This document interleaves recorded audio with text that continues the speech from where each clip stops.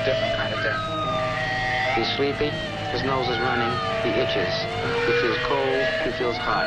He doesn't even know what the sun really looks like. He's literally living in